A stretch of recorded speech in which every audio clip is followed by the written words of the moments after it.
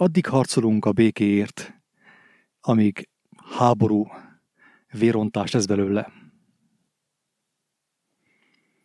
Tehát most ugye a világ mindenki, mindenkinek a Facebookján, megosztásaiban ott van a, vég, a békevágy, ugye, ahogy mondta, azt hiszem, hogy Koppány, hogy elkésett a békevágy. Nem tudom, ez a békevágy mennyire késett el, de az, hogy el van teljesen tekeredve, el van torzulva, az teljesen biztos. Mindenki harcol a békét, főképp a Facebookon. És azt látjuk, hogy minél inkább harcol a világ a békéért, Európa, Magyarország. De most mit beszélünk mi, mit tudom én, Alaszkáról, amikor beszéltünk magunkról, magyarokról és székelyekről. Addig harcolunk a békéért, amíg háború és vérontás lesz abból. A szeretet nevében, az együttérzés nevében fogjuk egymást megölni, megöldökölni. De hogy megértsük, hogy miről van szó, ismétlem, addig harcolunk a békéért, amíg háború lesz belőle. Ezt, hogyha lefordítjuk, ugye, magyarra, tehát szétszedjük, hogy megértsük a lényeget, akkor oda jutunk, hogy addig harcolunk a háború ellen, hogy háború lesz belőle. Érted-e, hogy mit akarok mondani? Mert a béke, amikor harcolunk a békéért, fegyvereket szállítunk Ukrajnába a békéért, az már egy eléggé gyanús dolog. Tehát erre szoktam mondani, hogy Móriczka és Pistike középcsoportban már röhögnek rajta, hogy itt valami nem stimmel a logikával. Hogy lehetséges az, hogy, hogy harcolunk a békéért úgy, hogy puskaport küldünk a béke helyszínére? Hogy lehetséges ez? Tehát harcolni a békéért ö, azt jelenti, hogy harcolni a háború ellen. És Isten nekünk azt mutatja, hogy eszkalálódik, növekszik, kibontakozik, kezd, kezd begyúlni a, a, a puskapor. Tényleg úgy néz ki, hogy háború lesz ebből. De miért történik ez? Azért, mert harcolunk a békéért. Harcolunk a háború ellen. És akkor most mondok egy másik dolgot, mert különben nem értjük meg az egészet. Addig harcolunk a bűn ellen, amíg bűn lesz abból. Tehát addig harcolunk a gonosz cselekedetek ellen, hogy gonosz cselekedetek születnek abból. Még gonoszabbak, ahogy mondja itt Levike mellettem. És miért hoztam a kettőt párhuzamba egymással? Háború és bűncselekedet, ugye? Politikai szinten háború, és vallási szinten bűn. A politika arról szól, hogy harcolunk a békéért, avagy harcolunk a háború ellen. A vallás pedig arról szól, hogy harcolunk a bűn ellen. És érdekes módon a nagy tusakodásunkban, a nagy harcban pontosan azt kapjuk, ami ellen harcolunk. Na te ezen elgondolkodtál, ez hogyan lehetséges? Mert én elgondolkodtam. Isten úgy adta, hogy elgondolkodjak ezen. És van egy érdekes közmondásunk nekünk. Az, hogy a fejétől bűzlik a hal. A fejétől bűzlik a hal. Most már akkor érted-e, hogy miért helyeztem a kettőt párhuzamba? A, a, a háborút, ugye? Hogy harcolunk a háború ellen, és harcolunk a bűn ellen. Mert először mi kellett harcoljunk a bűn ellen. és utána aztán neki fogunk harcolni a háború ellen. Mekkora ez? Milyen intelligensek vagyunk? Hogy becsaptuk Istent? De vajon tényleg Istent csaptuk be? Vagy saját magunkat? Ez a kérdés. És még mielőtt ezt bővebben kifejtenénk, hogy ez hogyan történt, előre bocsájtom, és, és, és kihangsúlyozom, hogy Magyarország, a magyar nemzet, a magyar nép, a székelyek, a felvidékiek, Kárpátalja, délvidék, keletvidék és nyugatvidék minél jobban harcol a háború ellen, a békéért, annál biztosabb, hogy lesz háború, kemény vérontás, sírás és fogcsikorgatás.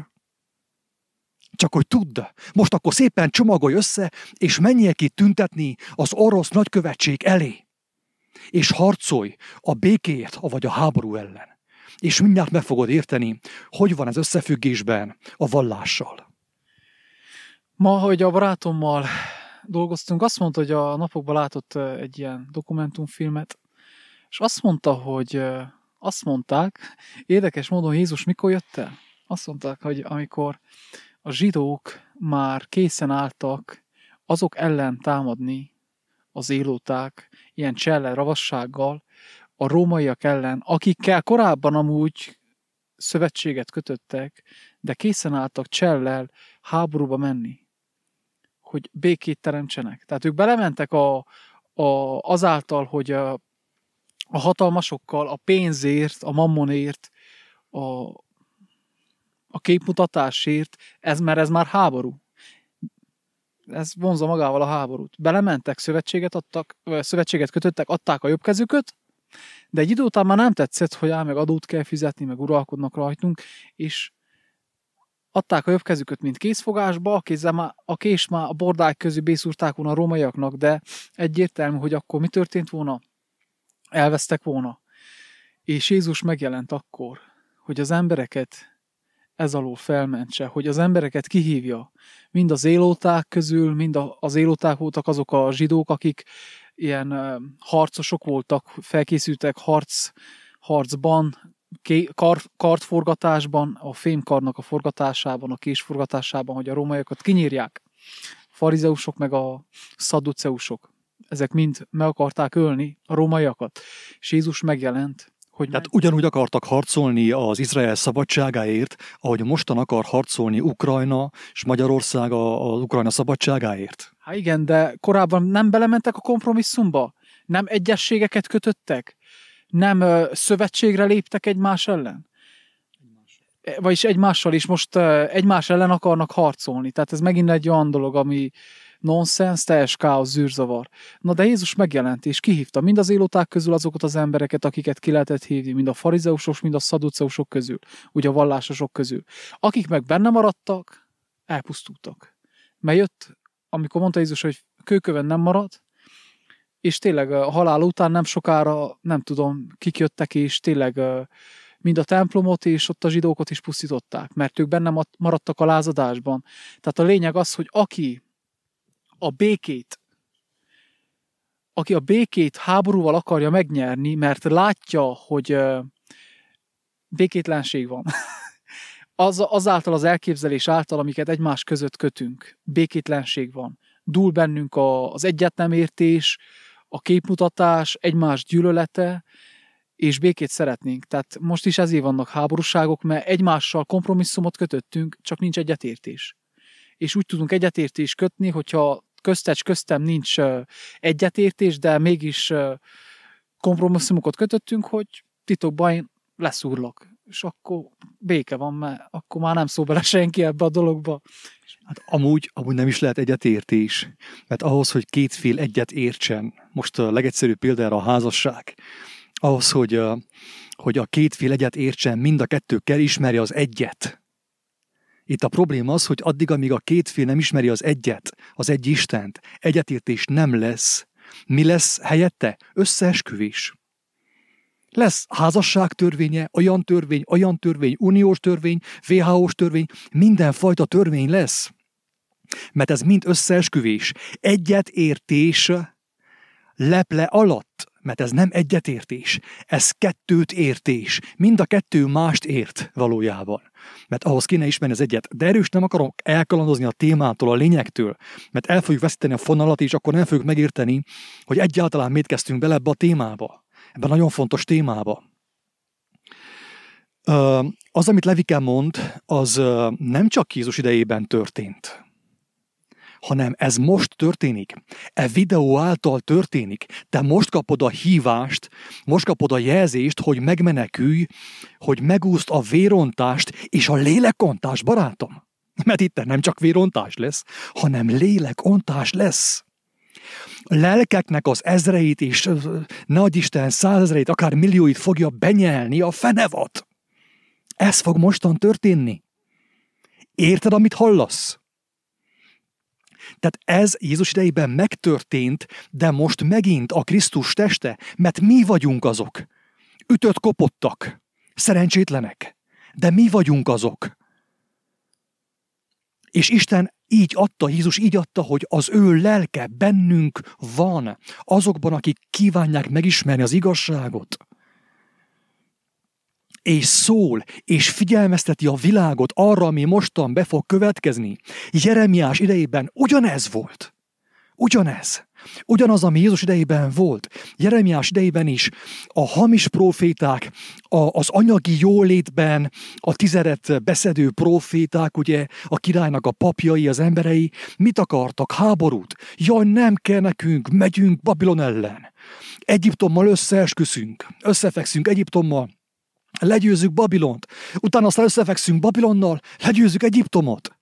Ez volt a papok elképzelése, a vallásvezetők elképzelése.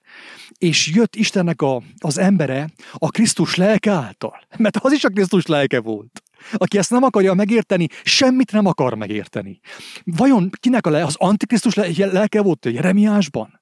Nem, benne is a Krisztus lelke volt, olyan tökéletesen sehol senki benne nem volt, mint Jézusban.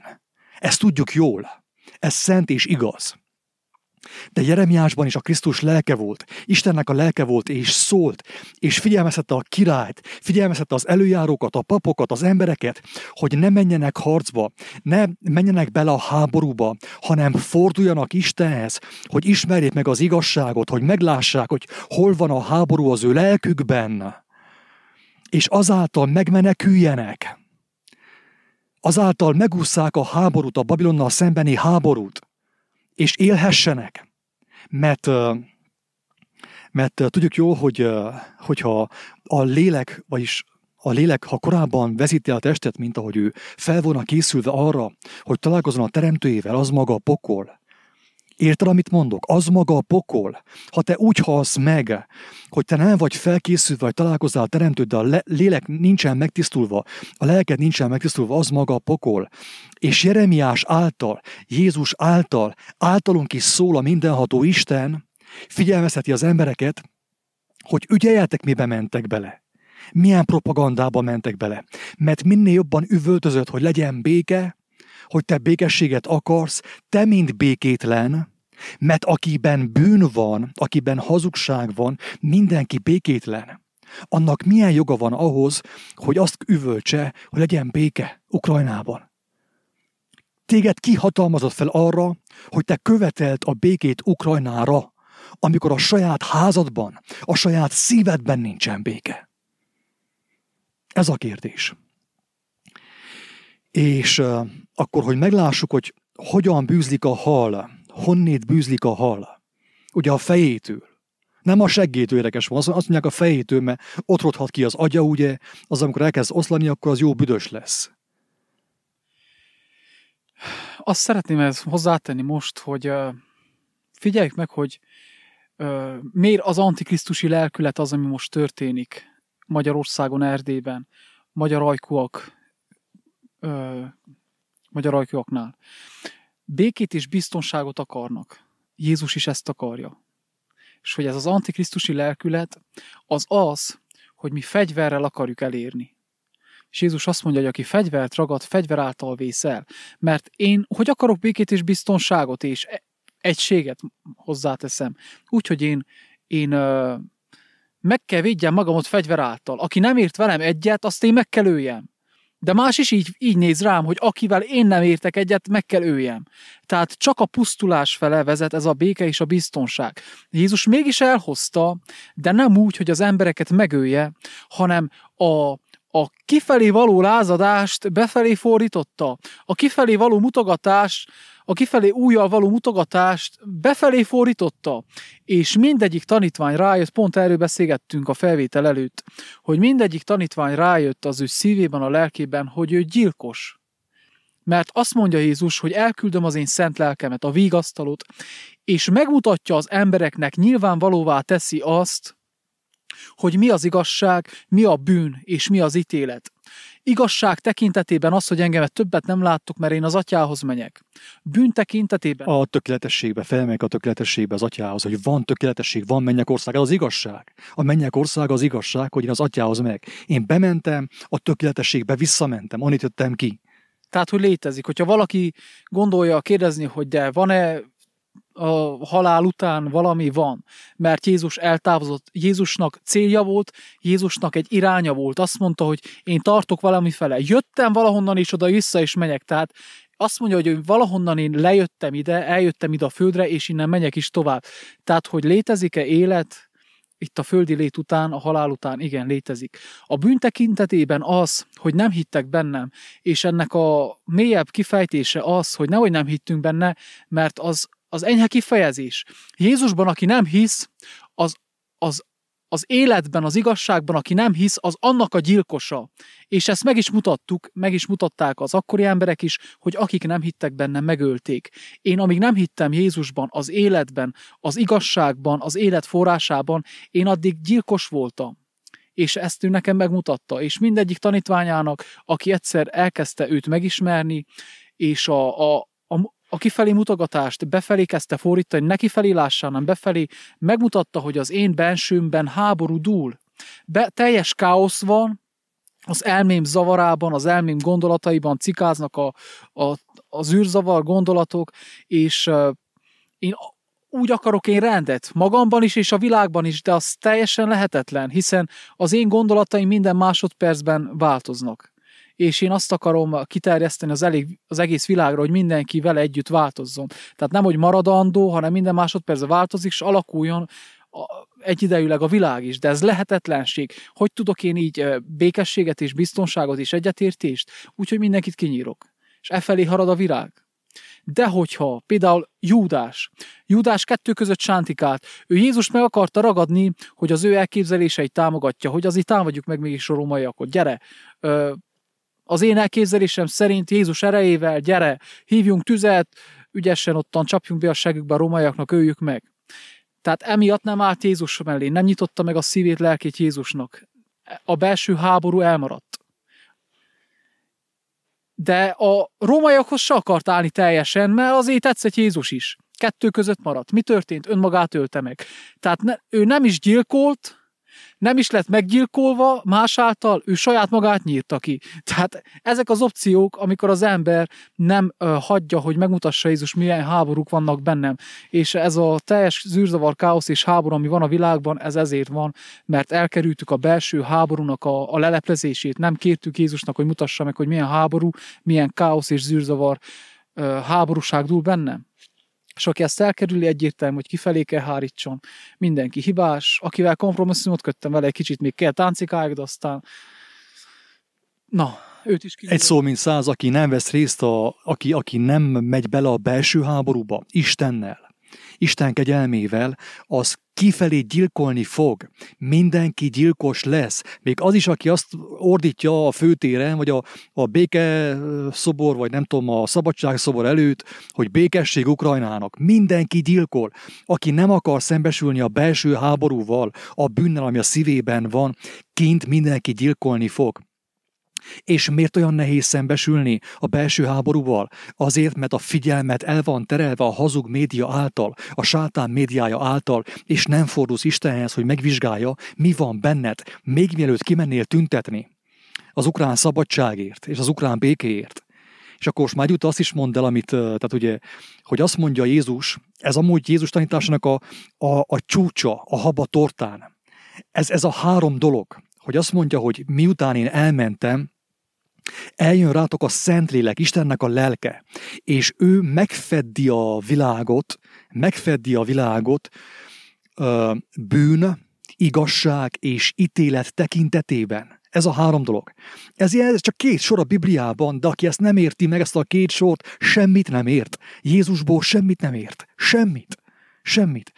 Az első kettőt Levik elmondta ugye, hogy megfedi a világot az igazság tekintetében, hogy ő az atyához megy. Tehát, hogy van mennyek országa, ő nem tojta össze magát a test halálától, ő zsákruhában leélte az egész életét, mert tudta, hogy az atyához fog menni. Ekép, aki ismeri őt és megismerte őt, ugyanúgy viselkedik, mint ő. Nem tolja össze magát semmitől, nem fél semmitől, nem ragaszkodik a földi életéhez, a földi jóléthez, semmihez nem ragaszkodik, mert tudja, hogy az atyához megy. Ez az igazság.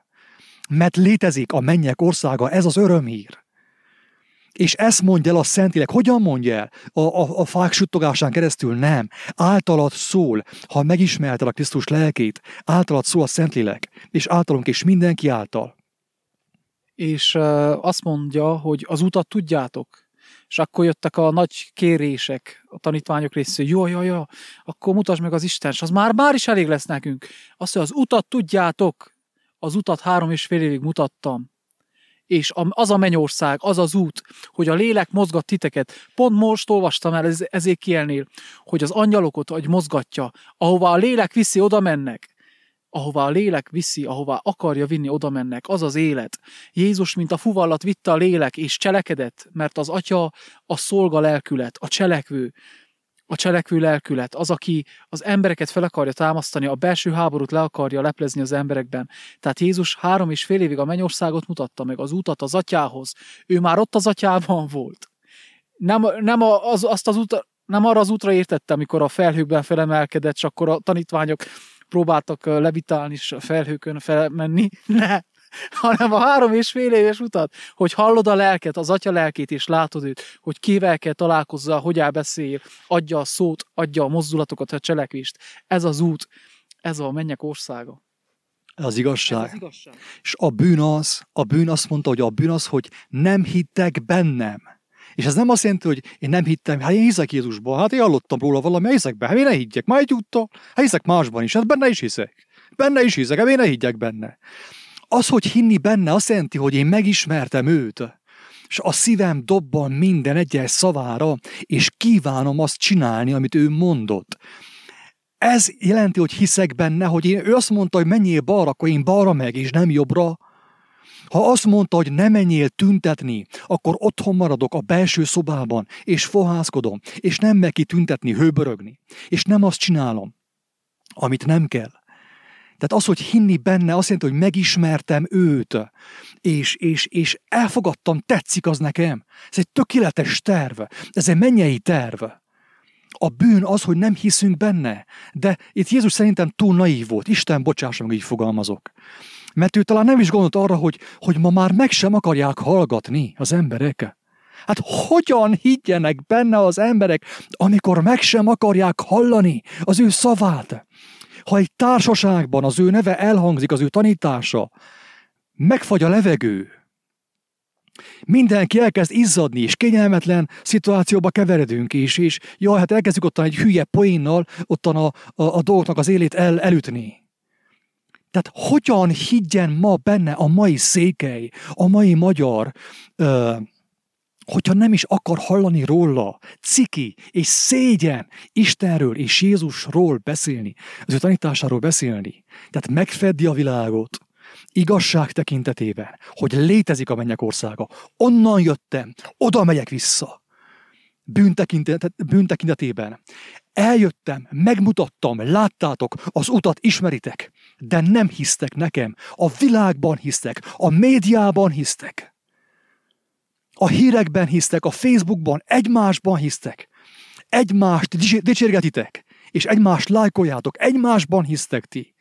Ezért vagytok benne a mókos kerékbe, az önismétlésbe, mert nem a fentiben hisztek, hanem a lentiben hisztek.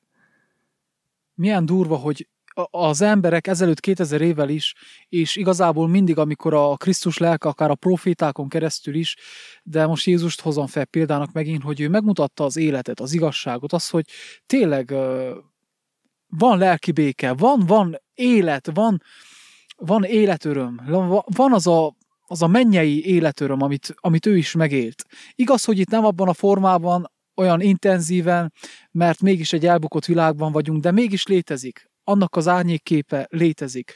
És hogy csinált akkor is az ember békét és biztonságot, mikor már Jézus akkorára, a Jézus szavai annyira betöltötték ott a, a földet, hát ugye elkezdett az emberekben nyüzsögni a, a, a lázadás lelkülete, a hazugság lelkülete, el kell hallgattatni. Tehát megöltük az életet. Az, hogy én nem hiszek benne, az egyenesen arányos azzal, hogy én megölöm az életet. De hogyha én megölöm az életet, én magamba is megölöm az életet. Ha én kívül megölöm az életet, magamba is megölöm az életet. És hogyha én megölöm az életet, azt jelenti, hogy én szeretem a halált. És ebben élünk. Az előbb, amiket felsoroltál, Facebook, a YouTube, a, a miniszterelnök, az elnök, amiket mondnak, mi a halált szeretjük. Mi, hogyha annak engedünk, mi a halált szeretjük, mi a halálhoz ragaszkodunk, és a halálnak a, a rendeleteit tartjuk be.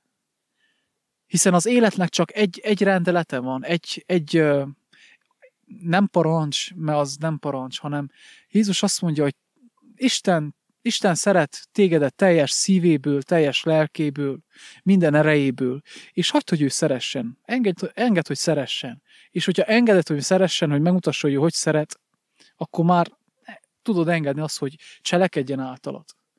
Ezt az én mondom így, mert sok, már tudom azt, hogy én szeretni se tudom Istent, ahogy mondja, le van írva, hogy szeresd az Istent. Aztán Isten őriz, hogy én hogy szeretem őt. Tehát aki nem hisz a bűn tekintetében, hogy nem hittek bennem, nem fogadták el az életet.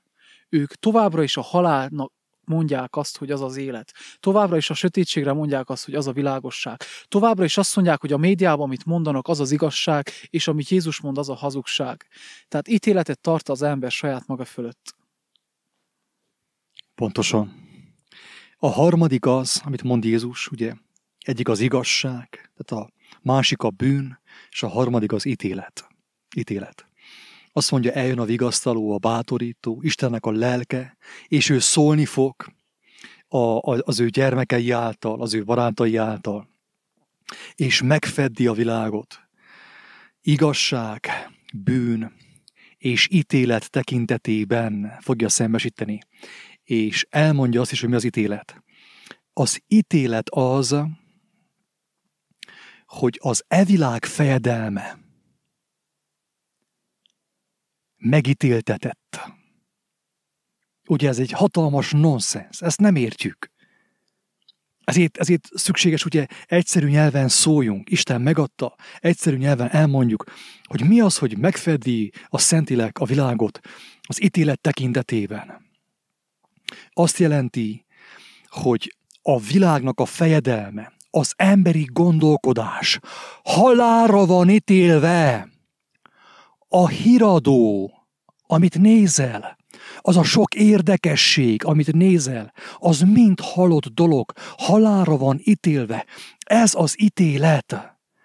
Minden, ami nem, Istendő, nem Istenből van, és minden, ami nem a tökéletességből van, nem a Krisztusból van, az meg kell szűnjön, el fog veszni még az ég és a föld is elmúlnak. Az én beszédeim sosem múlnak el. Ezt mondja Jézus. Az ítélet az, aki hallja az igazságot most is, e videó által, e beszélgetés által, Isten ajándékából, mert ez nem a mi jóságunknak köszönhető. Ez nem a mi kedvességünk, Istennek a jósága, hogy adja, hogy beszéljünk és kiáltsunk, amíg még van akihez. Hallod az igazságot, hallod az élet hívószamát, hallod azt, hogyha azt megismered, és megtehetsz azzal, élni fogsz, és kijössz az ítélet alól. Mert még ítélet alatt vagy. Nem ezután lesz az ítélet. Már most ítélet alatt vagy. Amikor reggel iszod a kakaós kávét, ítéletet iszol a csészéből, a tojásrántottával ítéletet eszel magadnak, az ítéletet táplálod magadban. Mert hogyha nem annak adod a táplálékot, ami igaz, és ami sosem múlik el, mert örökkévaló, akkor a hazugságnak, a hiába valóságnak, a rothadásnak adod a táplálékot. Ezért is mondja, hogy amikor eszünk, emlékezzünk rá, hogy van nekünk igaz jeledelünk, mennyei táplálékunk. Hogy az a tojás rántotta is Isten dicsőségét szolgálja. Hogyha már megettem azt a tojás rántottát, ne csak szar legyen belőle, hanem örök élet valaki számára. Érted már a lényeget? Ez az ítélet, hogy minden, amit látsz, és amit nap, nap mint nap simogatsz a telefonon, a Facebookon, minden el fog múlni. A rothadás, az enyészet martalékává fog válni. El fog égni minden. Minden el fog égni, kivéve az ő szavát. Mert az ő szava tűz, emésztő tűz. Ma kérdezte valaki így poénból a Whatsappon, hogy ez ugye, ez ugye nem a ez ugye nem a, a pokol tüzelmet, küldtem egy ilyen tüzet neki. Yeah. És mondom, hogy itt félreértés történt, nincsen két tűz, csak egy tűz van. Csak egy tűz van, komám. Egy tűz van csak, az igazság tüze de az igazság tüze megégeti, felperzseli azokat, szétégeti, akikben nincs, akikben nem az igazság uralkodik. És az igazság tüze az egy lágy, eh, lágy, simogató szellő, az maga a mennyek országa, azok számára, akikben az igazság tüze már ég, mert a tűz a tüzet nem fogja megégetni. De a tűz a, a száraz, terméketlen gyümölcsfát, a, a száraz fügefát, kiszáradt fügefát meg fogja égetni, és fel fogja emészteni az igazság. Ez az ítélet, barátom. Ítélet, ez az, ez az örömhír. Ítélet alatt vagy. Találkoztál a valósággal, hogy ítélet alatt vagy, addig, amíg meg nem térsz az élő Istenhez. És nem éhezed úgy az ő szavát, mint, mint a, a kicsi baba a, az anyukájának a, a, a tejét, az anyatejet ha úgy nem kéred Istentől az igazságot, az ő szavát, ítélet alatt vagy. A jó hír az, hogy ő megad mindent, de nem annak, aki nem fordul hozzá, ő hívogat százszor, kétszázszor, kétszázegyedik vége. Azt mondta, eddig adtam, tovább nem adhatom, mert neki kell, neked nem kellett, de neki kell, neki fogom adni. És milyen jó, hogy az, ezt az egész tanítást úgy kezdi, hogy az igazság tekintetében, hogy én az atyához megyek, tehát, hogy van, van út, van ebből a, a világból, ebből a hazug világból kiút, ezzel kezdi, hogy megmondja azt, hogy van egy kiút, én ezt megmutatom neked. Megmutattam, és megmutatom mindenkinek, aki ebből a világból ki akar jönni. Viszont aki nem akar kijönni, nem akar az atyához jönni, nem hiszi el ezt, az itt marad, és automatikusan ítélet alatt van. Még annyit akartam, a fejedelmei, az emberek, ugye a vallásos doktrinák, tanítások azt híresztelik, ugye a, a fejedelmekkel, a Pálapostóltól szeretik nagyon idézni, hogy ezek a démonok nem. Hogyha a fejedelmet ketté válasszuk, akkor úgy lehet érteni, és úgy is kell, ahogy nekünk Jézus kijelentette, hogy a fejünkben az elméletek. Fejed elem, a fejekben az elméletek. Mert milyen elméletek voltak a szadduceusoknál, a farizeusoknál? Azt hiszem a szadduceusok nem hittek a, a, a lélekben, a feltámadásban. A farizeusok hittek. A zéloták miben hittek? A, a késbe, a kartba, a gyilkolásba. Ezek különböző elméletek voltak. És milyen jó, hogy ez az elmélet megítéltetik, ez az elméletek, amik az emberben vannak, felperzselődik. Mert hogyha ez bemenne a mennyek országába, a végtelenségig pontosan ismétlődne a végtelenség, ez a mocsok, ez a ganyi, ez a képmutatás, ez a vallásos képmutatás, amit folyik a Földön, hát e- egy élet is elég ebből. Nekem nem kéne, hogy a végtelenségig is ismétlődjön. Re- reinkarnáció ebből, ebből a fajtából. Isten mencs. Isten mencs, és akkor itt visszakanyarodunk a videó elejére, vagyis a beszélgetés elejére, ugye vallásos képmutatás. Honnét bűzlik a hal? A fejétől azt mondják, nem a seggétől, a fejétől a, a fejedelemből, ugye, a, a fejedelemségekből, a fejednek az elméjéből, az elméjétől bűzlik a hal, ugye, a fejünk elméjétől bűzlik a hal, bűzlik az egész rendszer. És, és ugye azt mondtuk, hogy minél, többel, minél tovább tüntetünk a, a, a békéért, vagy a háború ellen, annál biztosabb, hogy vér fog folyni. Mert Isten nem azt mondta, hogy tüntes a békét, hanem azt mondta, hogy gyere, mert megtisztítalak. Gyere, gyere beszéljünk, gyere üljél le, megfűretlek, megmozsatlak, tiszta ruha. De ez, ez nem kell. Megyünk tüntetni az ukrán zászlókkal a nagykövetség elé. És mi történik a vallásban? Ugyanezt történik. Addig tüntetnek a bűn ellen, hogy megtelnek bűnnel. Ne csináld ezt, ne csináld azt, ne csináld azt. Tüntetünk a bűn ellen, harcolunk a bűn ellen, mint ahogy harcolunk a, a háború ellen. Addig harcolunk a háború ellen, hogy háborús hősökké válunk, de úgy, hogy már alulról szagoljuk az ibolyát, de jó messze alulról, jó messze lentről, szagoljuk az ibolyát, ugye? És addig harcolunk a bűn ellen, hogy bűnössé válunk. Gyilkosokká válunk. Isten nem azt mondja, hogy harcolj a bűn ellen, hanem azt mondja, hogy ismer meg az igazságot, lehet abba örömöt, táncolj és énekelj. Éld az életet úgy, ahogy én mondtam. Megmutattam, az utat megismertétek. Ezt mondja Jézus, aki engemet látott, az atyát látta, látta az utat a tökéletességbe. Csináljátok azt, nem kell harcolni a bűn ellen. Hogy, hogy neked van időt harcolni a bűn ellen? Hogy, hogy te kínlódsz a bűnnel egyfolytába? Hogy lehetséges ez? Úgy, hogy az élettel nem foglalkozol.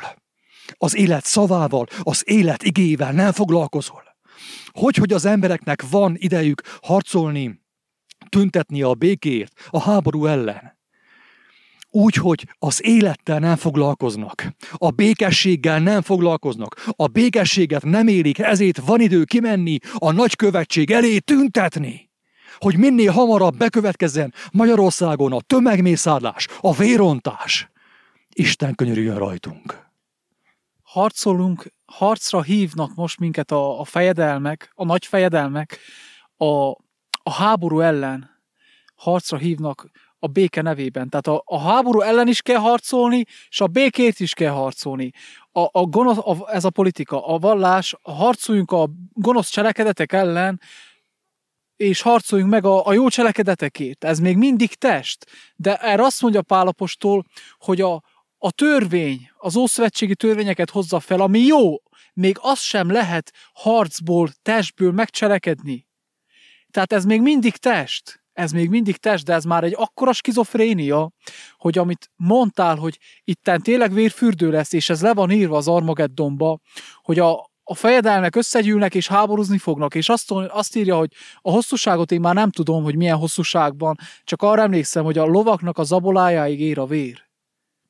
Ilyen vérfürdő lesz, mert az emberek tömegei belemennek, elhiszik, hogy háborúval békesség lesz. Háborúval fogsz ölni, mást is, és téged is meg fognak ölni, és megmaradsz a gyilkos állapotban. Nem gyilkos leszel, megmaradsz a gyilkos állapotban, mert a gyilkos lelkület az ott van már a szívedben, meg készen állsz a harcra, e világnak a csatájára készen állsz, és hogyha nem fordulsz Krisztushoz, hogy a gyilkos lelkületedet újjá teremtse, újjá formája, és így halsz meg. Kircsán a lelked automatikusan elkárhozik, mert a gyilkos lelkület nem mehet be a szentség helyére. A szentségem hegyén a Krisztus lelke van, a békesség lelkülete, az igazság lelkülete. Azt, amit hallottál mostanig, amit hallhattál, azt nem azért mondtuk, hogy megvádoljunk, hanem sokkal inkább azért, hogy szembesítsünk. Ha kimentél a békemenetre tüntetni, akkor tudjál arról, hogy te a háborúért, nem a békéért, hanem a háborúért tetted azt. És akinek, aki nem háborodik fel most, de szavak hallatán, abban van alázat, annak van esélye, hogy megmeneküljön. Azért mondtuk, amit mondtuk, hogy aki ezt hallja, kapjon esélyt a szembesülésre és a megmenekülésre. Hogy menjen, tüntessen be a belső szobába, és tüntes, és kérd Istentől, hogy megvizsgáljon téged, hogy bentről a háború elfogjon. Mert a, a békességet azt nem úgy teremtjük meg, nem lehet úgy megteremteni, hogy harcolunk a háború ellen, háborúzunk a háború ellen. A bűnt nem lehet úgy kiírtani, hogy háborúzunk a, a bűn ellen, hanem úgy, hogy éljük a, a nem bűnt, a, éljük az igazságot. És a háborút úgy lehet megölni, hogy éljük a békességet, nem úgy, hogy tüntetünk bűnös emberként, tudatlan és istentelen emberként tüntetünk a, a, a békéért.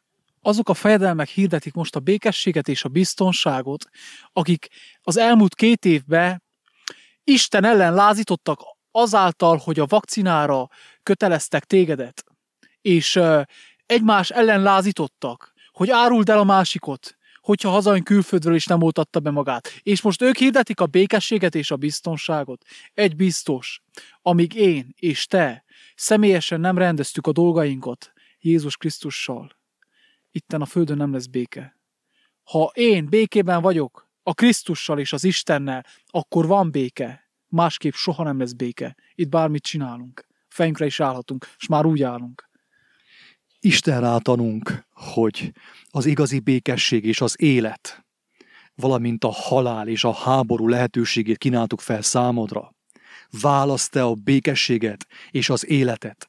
Válasz Istent, válasz az ő szavát, Jézus Krisztust, és lesz igazi békességet.